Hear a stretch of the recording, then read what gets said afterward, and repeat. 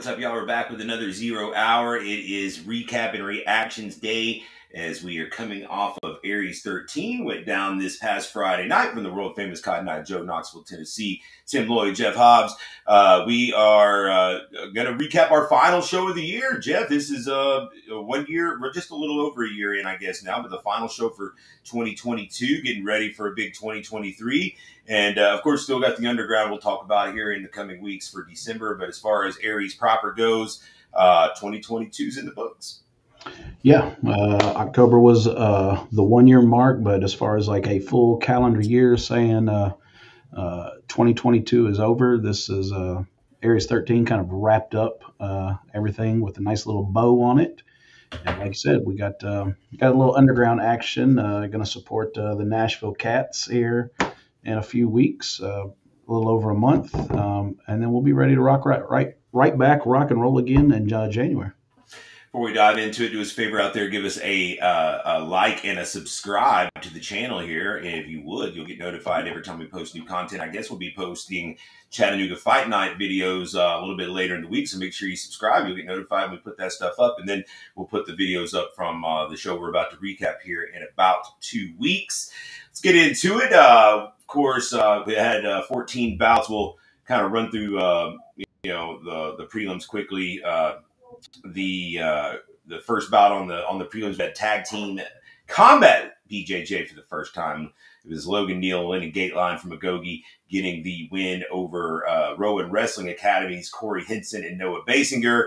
Uh, this was we kind of at the last minute we're like, well, what do we do if these guys start getting TKO'd out there? So the you know typically we we race to three in in these uh, tag team bouts, but uh, we we decided that if there was a TKO, then the opponent or the person that got TKO would be out of the match.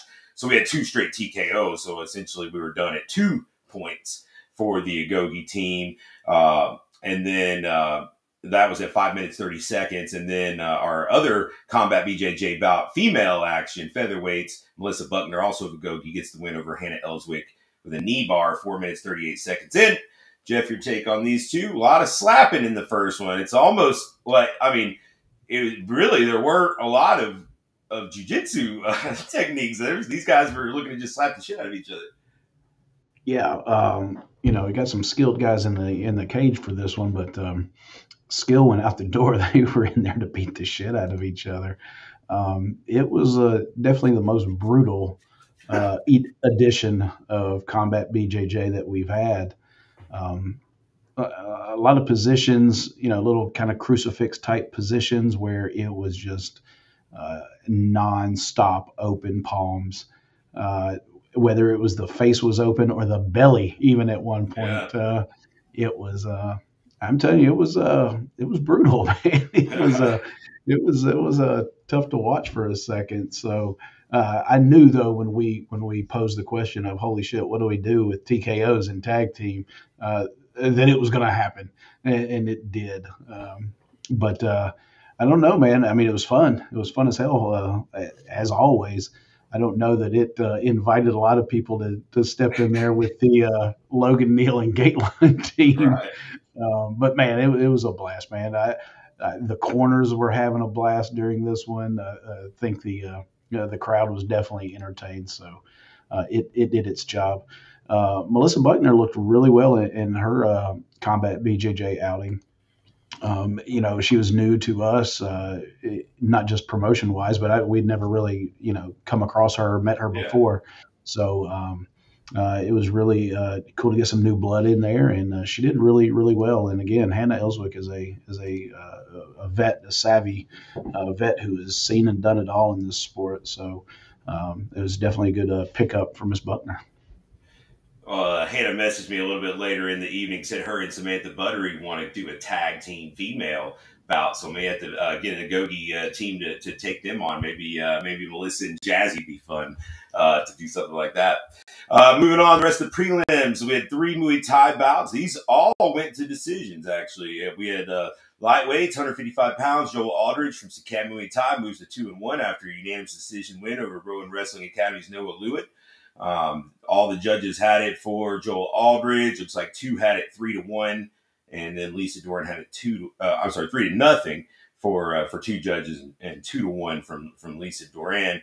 Um, and then it was Jake Phillips from Hayastan and David West uh, from Black Eye Muay Thai going at it. Those guys had a lot of experience between them. They put on a really, really nice fight, very technical, very skilled. Uh, Jake Phillips gets the win, unanimous decision, moves to seven and four. David West drops to four and two. And uh, in this one, uh, Johnny Stewart had it all three rounds for Jake Phillips. Both Lisa Duran and Chandler Goins had it two to one for Jake Phillips. Rounding out the uh, prelims catchweight battle had 160 pounds. Andre Stevens of Striker Fight Center gets the win over Harrison Raymond from Shield Systems. Both these guys came in undefeated.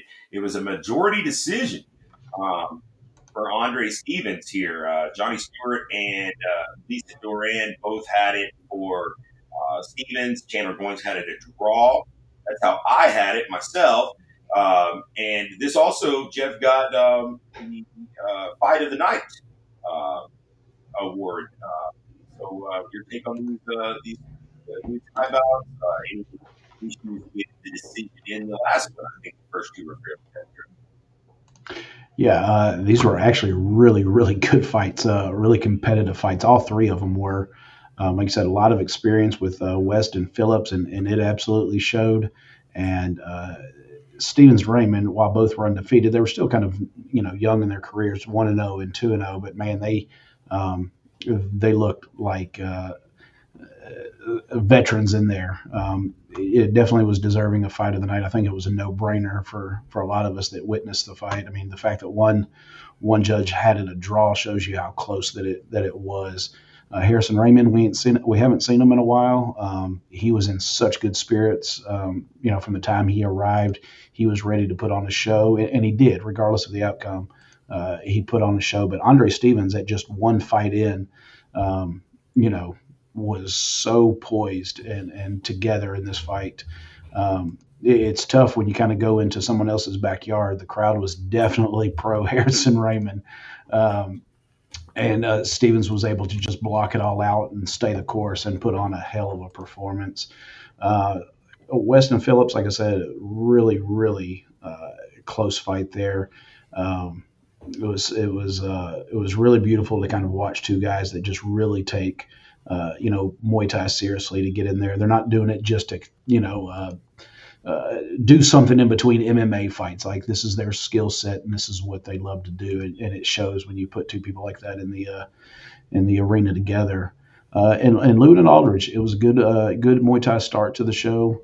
Um, both those guys, you know, look good. Uh, you know, I hate to to say that sometimes these Muay Thai fights are fillers because that's never really the intent.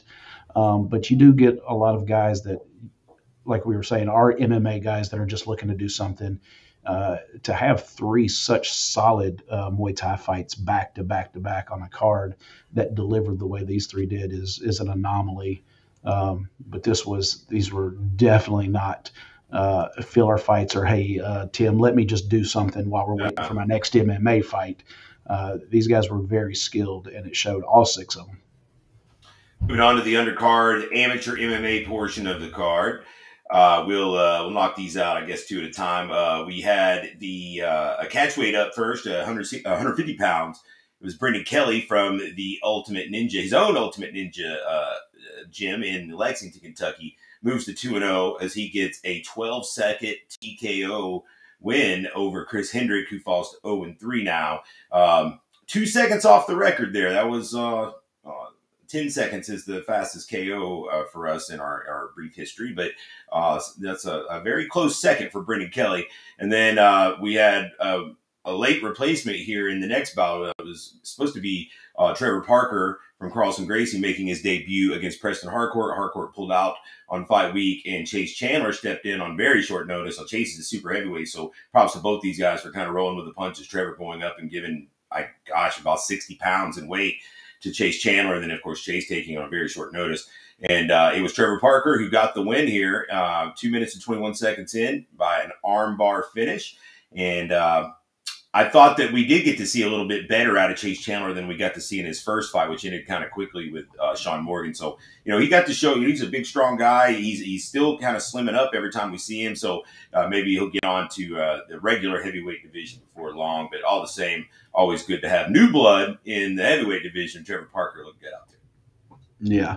Um, just because you mentioned Sean Morgan, I just saw today. Uh, looks like he have, has welcomed a little one into the family. Oh, nice. So congratulations, Sean, if you happen to catch this or watching. Um, but uh, yeah, uh, Brendan Kelly, like you said, a new business owner. Uh, I think he had his uh, phones forwarded on on fight weekend while he's there. 'cause I kept hearing him answer the phone, uh, the Ultimate Ninja, uh, uh, and taking business calls uh, while he was waiting on his fight. But um, you know, Chris Hendrick, uh, it, it's kind of one of these weird situations where yeah, the guy is uh, 0 and 3 now at this point. Uh, where you have an 0 and 3 that you can honestly say that was looking better each time as far as more confident in himself. Um, You can tell his physicality is he's getting in better shape every time. Yes, absolutely. You know, the first time we saw him, just kind of came in, uh, not really dressed to fight, if you will. Um, uh, and every time he just looks more and more the part, you know, when he comes in, uh, making weight, hitting it, looking really good and in shape. Um, and is carrying himself differently each time that he comes in. It's just, uh, you know, it just hasn't come together for him yet. Um, you know, he's been in there with some some grapplers previously, and and's look, been looking for an opportunity to kind of maybe stand up with someone, and then uh, he got that in, in Brendan Kelly, um, who I think also was, you know, in his own right trying to showcase, you know, some stand up. Uh, his first time out, uh, you know, was a was quite a little war that he had, Mhm. uh, an exhausting, uh, you know, grappling match almost with. So he was looking to kind of show something too. Um, this was probably one of the nastiest little knockdown, fall down kind of things, kind of a sideways uh, fall down. But I, I think some of that was off balance too, because uh, you know Chris uh, Hendrick was able to pop right back up, and and um, you know, uh, thank goodness nothing was uh, terribly wrong with him. Uh, the heavyweight fight, man, how many times are you ever going to say that you put on a super heavyweight bout that uh, was more of a grappling bout and ended with an armbar submission? That one was definitely for the record books. Uh, you know, you, you can see it and you know it's like okay. I mean, it's there if he were to, but you never really expect him to take it. And uh, he got his opportunity, and he saw the arm was there, and by God, he super heavyweight took it, and uh, uh, is definitely an anomaly, and it was fun for the crowd. But th- definitely thank you to Chase Chandler for jumping in on such short notice uh, and and helping save a fight here. Up next, lightweight action. Blake Grant gets a, a win in his debut, uh, representing Guardian MMA out in Murfreesboro. He moves to 1 0 with a uh, first round rear naked choke over Ricardo Powell from ground and pound. Uh, Ricardo goes to 1 and 1 now. That was 2 minutes 48 seconds in. Uh, Grant also took home the uh, National Guard Warrior of the Night award. Really nice showing there for uh, for Blake Grant in his debut. And then up next, it was bantamweights as Nick Golden from Rowan Wrestling Academy. Uh, their first uh, gets the first win uh, for Rowan Wrestling Academy um, as he gets uh, uh, TKO 42 seconds into the first round over Tyler Huff from Carlson Gracie. So Carlson Gracie goes one and one on the night. Um, yeah, Golden looks really put together at 135. That guy's, you know, he's he's shredded up. He's a he's a thick dude. Obviously, he's got some wrestling, but it was the striking on display here against Huff. I guess there was maybe some kind of little maybe like an ankle or a foot uh, was was maybe injured at some point uh, there in the last scramble. I, I'm not really sure. I tried to watch and see for for what had happened. I couldn't really tell, but uh, all the same, congrats to Nick Golden and congrats to Rowan Wrestling Academy getting that first dub. Yeah, I mean, Rowan Wrestling, obviously, uh, you know, they had, a, they had a tough night as far as, you know, tough opponents, tough competition, um, and were able to uh, uh, pull this one out for the team. Um, Blake Grant looked looked phenomenal. Um, very impressed when someone makes their debut, and you can see that uh, they've got a huge, you know, following that uh, made that trip to Knoxville to support him. So that always just tells me that somebody's doing something right. Uh, it doesn't have a lot of history in the cage, obviously making his debut, so uh, he must be doing something right personally, character wise, um, to have that much support. So it was really uh, cool to see him not only perform, but like you said, uh, take home a new uh, Tennessee National Guard Armory uh, Award that they are wanting to start doing each and every show and that is um, them getting together, the recruiters there that are on hand, and uh, getting a warrior of the night, someone who just showed exceptional uh, heart, uh, grit. Um, you know, it displayed all the uh, attributes that uh, the Army looks for in soldiers, and they immediately, uh, after Blake Grant stepped out of the cage, said, "That's our guy. That's our guy for the night." So it's a really cool looking award too, and I can't wait to keep giving those out each and every show. Um, but uh, Ricardo Powell just one and one. Uh, still so much upside with that cat, man. Uh, I'm excited. It's so easy to work with too. Yep. Um, yeah, and and excited to see him again, uh, as well as uh, Tyler Huff. All right, rounding out the uh, preliminary card, or or I guess our undercard, um, amateur main event, 145 pounds.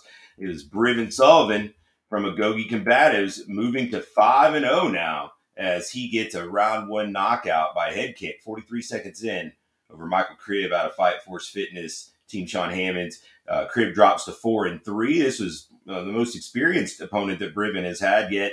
He dispatched of him fairly easily and gets uh, and gets the uh, knockout of the night at the while while he was at it. Got some swag to go with it, and uh, Brivin rounds out the amateur portion of the card with uh, in style there with a big knockout with a head kick. Yep, uh, you know, Brivin um, obviously watches the show and um, immediately came and found me and asked me if uh, I've answered any of the questions yet. um, and, and, I think he has, um, you know, answer those questions. Like you said, Michael Cribb was the most experienced guy I think that uh, had, had, met to this point. Um, but I think a lot of a lot of this stuff with Brivin has to do with Brivin, you know, and it's it's how he approaches the fight. What he when he comes out like that, um, he does answer a lot of questions. He came out aggressive. He came out crisp. Everything he threw was hard, and uh, everything he threw seemed like he was looking to end the fight with everything. Uh, and that's the type of Brivin that um, you know I wanted to see. Um, I still think there are levels that he can still you know get to with, as far as the opponent is is concerned. Uh, Michael Cribb had been out for a while, and again, this is no knock on on Brivin. Um, I just think there's still uh, some opponents out there, and I, hell, I don't know them off the hand. I'm just saying I, I trust that you'd be able to find them, Tim. Uh, but uh, I, I, think there's still uh, levels of opponents we can see before Brivin decides, you know, to, to make that jump to a professional, you know, ranks. Um, but yeah, I mean, Brivin answered all the questions that he needed to in this one. I think when when this Brivin steps in the cage, the sky's the limit for this kid because when he comes in that focused and that um, determined and uh, just everything was just laser point the other night. And that's not to say that Michael Cribb didn't look good because Michael Cribb was calm, he was collected, he was he was measured in in his approach.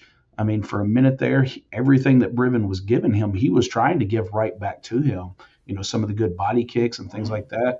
Uh, he, but it was just it was too overwhelming for him at some point and uh, it was a beautifully placed high kick right across the jaw, right across the face, right across the jaw, as perfectly placed as possible. And it was just that kind of one hitter quitter, dropped him. Uh, referee, you know, rightly and gladly stopped, uh, stepped in and stopped the bout from, uh, you know, going any further and possibly, you know, doing any more damage. So um, it was a really good, uh, really good way to uh, put an exclamation point on the uh, amateur side of the card and an exclamation point on the victory for Brivin. Interesting fight could be just the lazy matchmaking here, but Brendan Kelly now two and zero. You know, in that featherweight division, a guy that would probably measure up as the most athletic guy that Brivin would have faced up to this point. Don't know if he's got the ground chops to, to test him there, but uh, obviously good hands and uh, and uh, good athleticism. All right, let's move on to uh, the main card. We've got professional action here.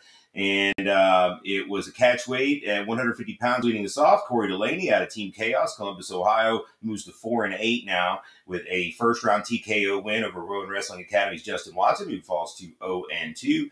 And uh, props to both these guys uh, again for rolling with the punches. These guys were supposed to fight other people. Corey Delaney was supposed to fight Carter Beekman. Justin Watson supposed to fight Daniel Kilburn. Both those guys unable to get their shit together on fight week. And so, uh, you know, they rolled with the punches, took a different fight. Corey Delaney had to cut a little bit more weight.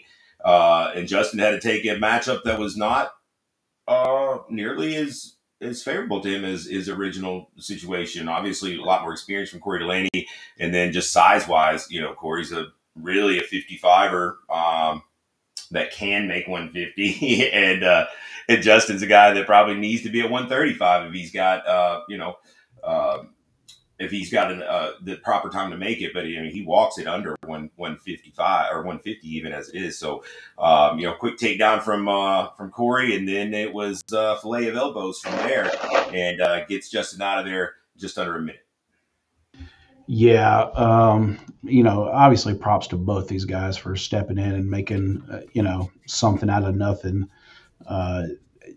As Brock said, chicken salad out of chicken shit. Yeah. Uh, because you know the the show was going to lose two fights. These fighters were going to lose two opportunities um, at, at you know getting a possible win and payday for their families and things like that. So props to both of them for uh, uh, helping put this puzzle together and, and, both guys compete. But like you said, uh, at the end of the day, Corey Delaney, you know, ten plus fight you know ex- experience and Justin Watson uh, just making his debut last year in Nashville um, against a tough as hell Pat Crumpton of, of all people too. Um, so the guys, you know, had no favors given to him. That's for sure.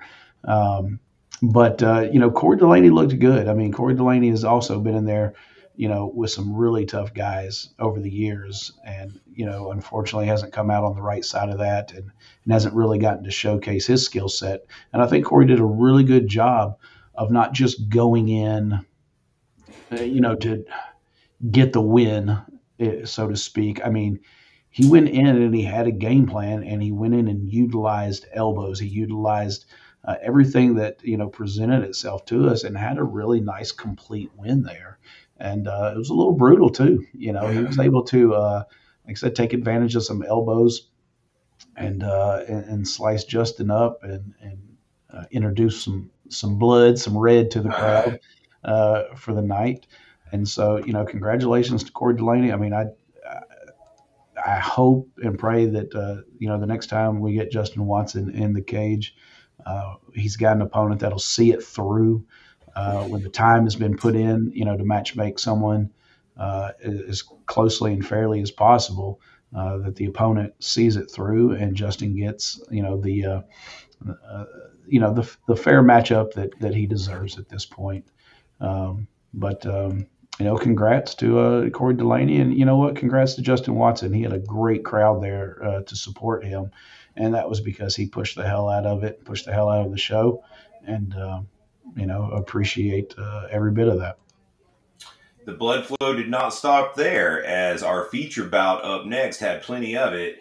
And it was uh, another catchweight bout, 150 pounds. Uh, and it was Andrew Sturdivant from Go Combatives making his professional debut against Titus Moore from Jim O, also making his professional debut uh, again, props to both these guys for rolling with the punches. It was supposed to be uh, a different opponent for Andrew Sturdivant, and um, it ended up being Titus Moore on about a week's notice. Um, he had to really scramble to get medicals in and all that stuff. Just uh, really, really great to work with. And man, he's he's quite the fighter. I mean, I was very impressed with with Titus Moore here. Is um, you know the you know I watched it back and the and watching it live, I thought that the first round. Um, was pretty close, but I was leaning Titus Moore's way, and then after and then watching it on uh, replay, I I kind of still still feel that way. Um, second round uh, with control time, I had Titus Moore as well. So you know the uh, back was against the wall going into that third round. Uh, it felt like there was some urgency in the corner. Hey, you need to get it finished. I don't think they were trying to fool him into thinking he was ahead on the scorecards and uh, and and he really came out guns blazing that third round. Got the takedown, uh, slipped a, a, nasty little elbow through that that cut Titus and uh, maintained position till about the um, I guess we were about three minutes in, and uh, Chris Bond at that point stood them up, and we got a little bit of a, a lull in the action, so Dr. Nathan Elliott could, could check out that cut. And um, I think that at the time, I think we were all kind of assuming the fight was going to continue at that point.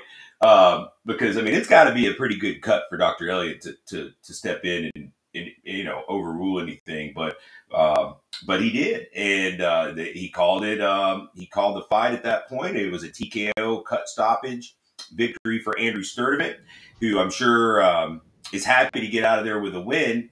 And, um, at the same time, I think there's a lot that he can take from this. When it seemed like there were, you know, his his mind was was in the right place afterward. That he realized that that wasn't necessarily, you know, his best performance, but he he escaped with a win, and uh, you know, still has that mindset that he's got some things to improve on. Titus Moore, a guy that I, I definitely want to see back again. He was great to work with, and um, going to be a handful. Um, you know, for anybody really, that that was a fight that just slipped through his fingers. I know he was very disappointed. Yeah, definitely, and, and and it's that you know warrior mentality. You know, he was just he felt, you know, I, I could hear him, you know, pleading with the doctor, please let me continue. You know, we've gone this far, um, and like you said, I don't think there's really probably too many people that would argue that he was up two rounds to nothing on the scorecards at that point. Um, and in his mind, all he had to do was just weather the storm in round three, and he felt like he could trust the judges' scorecards to still walk out of there with the victory. Um, you know, at the end of the day, kind of a great position for Andrew Sturdivant when uh, you can learn so much about yourself in your pro debut um, and still walk away with uh, you know a W on your on your record uh, and know that you know there's just a lot of things that you you know might want to fix and need to fix before you head into your next bout. But it also just pays dividends to know that you were in there that tough in your pro debut we had saw that uh, you know months back with Abamayai and Austin Carter. You know, for to have two guys in, in a hell of a match like that for their pro debut. Um, you know, we could tell at that point whoever won that fight was going to go on and be better in their sophomore outing because of that fight. And I think this will be the same thing for Andrew Sturdivant. I think this type of just grueling and gritty battling war is only going to benefit him, you know, his second time out. But, uh, you know, like you said, the blood was a flowing and puddling at this point. Uh, I didn't see it, it, as an elbow. I know you watched it back a little closer than I have, Tim, uh, but I knew it was either an elbow or he was really giving these nice short hammer fists too. Um, but uh, the positioning of the cut was just kind of right here, straight up and down on the eyebrow. Uh, but it was right over the corner of the eye, so everything that was coming off of it was, you know, going straight in the eye. And had the doctor even decided to let it go, uh, the referee was going to put him back in that same position. So um, it was going to continue to flow in his eye, uh, possibly for another two minutes. Um, but man, uh, like I said, Titus Moore, that Jimmo, that Gastonia crew, uh, so awesome to work with. Uh, Titus stayed and hung out, you know, for a while after after the show. Came out into the parking lot and you know thanked us again. Talked to super guy, uh, super family too that that traveled to watch him uh, perform. Yeah, his mom was there. Um, so uh, definitely hope that we get to see uh, him again. I know this was a catchweight uh, Tim at 150 because of the short notice, but I'm going to guess Titus 145 usually naturally. Mm-hmm. So um, man, are there some there's some fights there for sure uh, at 145 that would be awesome to see. And I know Sturdivant, uh, like you said, he was happy to walk away with a win, but I think he was really, really realistic about the fight. Um, I don't think he lied to himself in any way about some of the things he could have done differently. And I imagine he's going to want to get in fairly quickly and um, and uh, and, and show us a different Andrew Sturdivant as well, a, a better Andrew Sturdivant. And I don't want to take anything away from Andrew's performance, honestly, because he still no. did better than like he was in some really bad spots in the first round. Uh, you know, we thought that rear naked choke that, that Titus was working from his back for like yeah. a minute. You know, um, uh, a, a, lot of guys would have folded to that. his know, poise was his poise was beyond his years as far as time in the cage uh, in that first round uh, I, like you said, any any lesser a fighter, lesser trained fighter, uh, fighter from a lesser gym, all those things combined would have probably folded under that kind of pressure and and uh, not fought the way he did uh, to not just sustain and fight off the submission, but but actually you know put himself in better position in those instances and try to you know actually turn on you know so I mean yeah absolutely nothing to take away from him because regardless of whether he lost the first round or not or lost the second round uh, the positions that he fought out of and uh, and, and stayed so composed were uh, were phenomenal. Co-main event, lightweight bout, 155 pounds. Nick Campbell from the UFC gym in Greenville, South Carolina, moves to one and one with a big win over the debuting Chance Gilbride out of Agoge. First round TKO, three minutes 58 seconds in. This is a circus here. This is wild one. Uh, it was, uh, you know, Chance came in, uh, you know, a house of fire, very intense. You know, drawing the line in the middle of the cage. Uh, there was, you know, just a just a just fired up, man, just in, in a different zone. Uh, Campbell very composed through all that. Um, just kind of, you know, shrugged his shoulders and and went to work out there. And uh, you know, Chance uh, early in the fight, I thought that uh, you know he, he, was tenacious with his takedowns. I mean, he is like a bulldog. If he gets a hold of your of your foot or your leg or your arm, he's he's not going to let go until he drags you down. And and he was able to drag Nick down, and he did have some real nice positions for the first couple minutes. But then about two minutes in, it looked like Chance really started to fatigue very quickly. Um, you, you kind of saw the the juice just like visibly like zap out of him.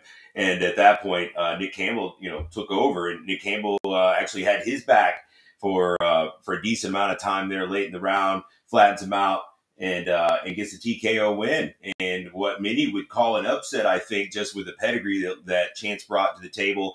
Uh, there were some intangibles here, though. You know, Nick just has been more active while Chance has been on the shelf. Uh, and then the size. I mean, at 155, you know, Chance has made 135 and Nick is a large 155. And ultimately, I think that, you know trying to corral uh, Nick Campbell um, certainly didn't do Chance's gas tank uh, any favors there in the early portion of the round. Uh, Nick weathers a storm and, and, gets a gets a nice win, man. Moves to one and one, and that's another guy that there's lots of good matchups for him out there.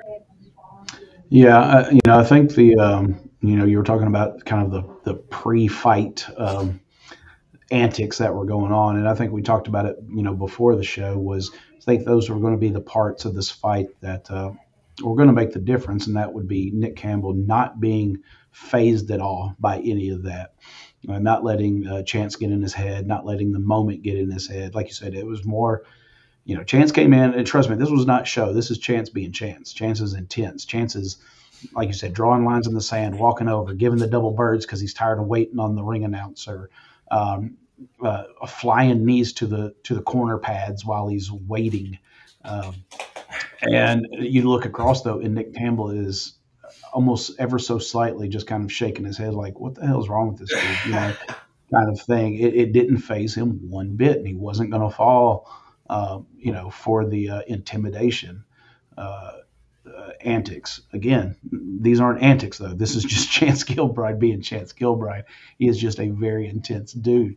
But uh, like you said, uh, size difference, um, you know, was was and strength difference. I think was evidence uh, evident. Um, you know, Chance we know has made 35. Like you said, uh, Campbell's a good size 55. Or let's not get it twisted though. He's, he's he would definitely not be a a, a 170 guy. that This is his weight class. This is where he probably should be to be optimum.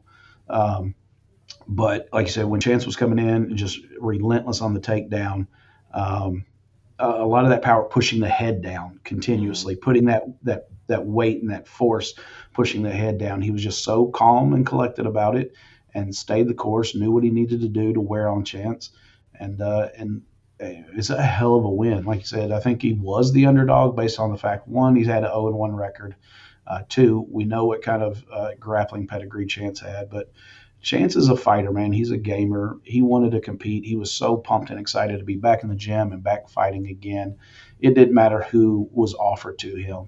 Uh, he wanted to fight, and, and he, and in his mind, you know, he was going to win that fight regardless of size difference. But I think at the end of the day, uh, the size difference did have a lot to do with you know the outcome.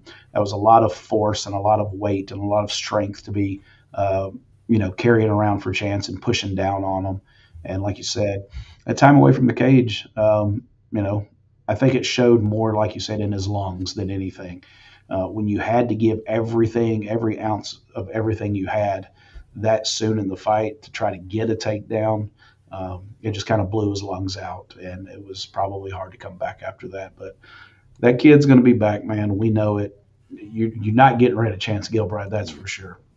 Uh, and there are some some matchups at more of his natural weight that I think are tremendous that are out there. Um, you know, it's not easy to matchmake Chance uh, a lot, and um, you know, but you never know after a fight like this. Maybe you know somebody's going to look at this and see that uh, you know maybe a, a, means to an end and a blueprint there that might open up some more matchups that maybe before didn't. And if that's the case, then great for Aries Fight Series. Uh, we're able to make some some more matchups, but definitely intrigued um, at, at, Nick uh, Campbell in the 155 lightweight division here um, because there are, we know how many damn shows, uh, you know, do we did we have this year, Tim, where we thought, Jesus Christ, there's so many lightweights on this card. Yeah. Uh, the city of Nashville alone has been, uh, you know, bogged down with lightweights every time we, we, go to that city for one reason or another. So there's lightweights. Uh, there's a plethora of them uh, that we have to make some really, really good matchups. And our main event, also in the lightweight division, uh, it was, man, like every pro fight was just right in that wheelhouse, wasn't it? Uh, Brant Cooper at a wild side moves to two and three with a first round knockout win over Shield Systems Alex Riggs, who goes to three and four, three minutes, six seconds into this first round. Man, talk about a war. This was this was going to be. I mean, talk about sending the crowd home with some excitement. This was wow. This was uh, just Rock 'Em Sock 'Em Robots for the entire time. And you know, both guys dropped the other. Um, Riggs dropped Cooper kind of early, and that may have been ultimately what began to unravel the the fight for him because uh, I talked to his coach Ben Harrison after, and you know, Ben was like, you know, we should be able to beat this guy anywhere as long as you don't go in there and just start slugging with the guy in the pocket and trade with him because he's bigger and he's stronger, you know. And uh, you know, it's it's obviously hindsight's twenty twenty, and you know we're armchair quarterbacking out here. But uh, when he when he dropped uh, when he dropped Brant early early in the round, that kind of you know he started smelling blood in the water, and I think that's natural. Probably you know it's probably not easy to just like oh no let's back off and, and be more measured. Uh, he, he smelled blood in the water. He went for the kill, and uh, and he just wasn't able to to get Brant to, to you know to fold. And Brant uh, started finding some some good uh, success of his own and uh, ends up dropping Riggs, I think, a total of four times. And Riggs every time would just pop right back up. So it was like, man, you stop it? Man, I can't really stop it. You pop right back up. But after the fourth time, uh, Luke Wilson did step in and stop that one. But man, it had the crowd on their feet. Uh, neither guy anything to hang their head over putting on a performance like that. That was just uh, an outstanding way to close the night up. Yeah, I, for me, it was, you know, I was kind of up out of my chair uh, amongst the crowd during that one. And uh, for me, the payoff was it was that Joe crowd that was coming in at the last fight because they're there for, um, you know, the club afterwards. Mm-hmm. And oh, that's a good thing so, to show them. Yes, yeah, so they came in just to see that last little bit. And I heard so many comments just that, holy shit, next time I'm coming earlier, you know, yeah. uh, this is what's going on. Yeah. Uh, that was a whirlwind of entertainment uh, for the uh, for the Joe people that were coming in afterwards and had no clue what they were walking into to, to see that. Um, so I think they definitely uh, helped. They were already earned us you know, earned some new fans, you know, because it was one of those deals where I think everyone, regardless of who they were there to see, was entertained by that main event hundred um, percent.